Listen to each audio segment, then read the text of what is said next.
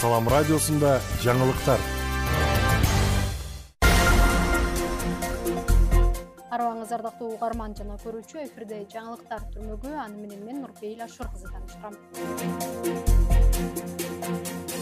адам жайда жыйырма эки жаштагы айкыз күйөөсү тарабынан муунтулуп өлтүрүлдү.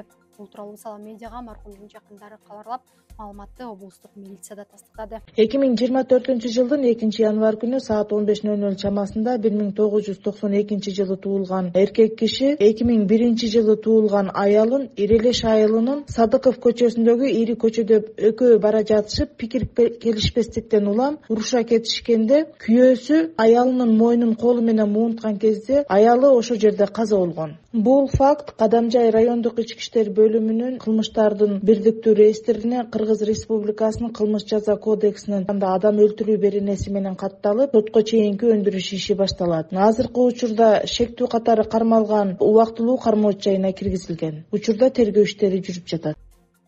Зомбулуктан көз жумган жыйырма эки жаштагы айкыз калмырза кызынын сөөгү үчүнчү январда жерге берилди. Айкыз калмырза кызы баткен районунун кара бак айылында туулган ал биринчи топтогу майып болчу анын артында эки кызы калды.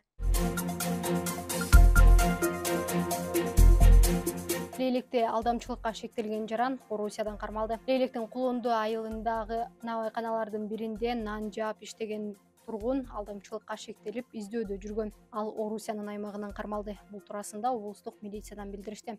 Маалыматка ылайык кармалган жаран набайкананын ээсинен алдын ала акча алып изин жашырып кеткен. Натыйжада набайкананын ээсине жүз отуз эки миң сомдук зыян келтирген бул факты кылмыштардын бирдиктүү реестрине кылмыш жаза кодексинин алдамчылык беренеси менен катталып сотко чейинки тергөө иштери башталган. Учурда кармалган жаран убактылуу кармоо жайына киргизилип тергөө иштери уланууда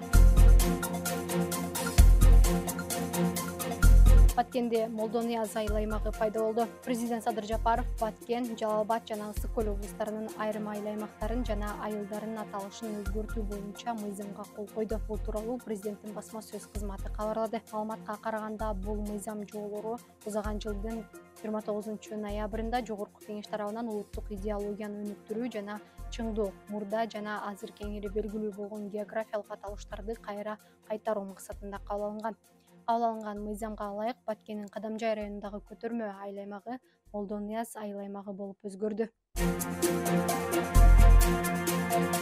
Күндүн маанилүү учурлары мына ушулар болду. Кайрадан эфир аркылуу амандашканча саламыбыз түз болсун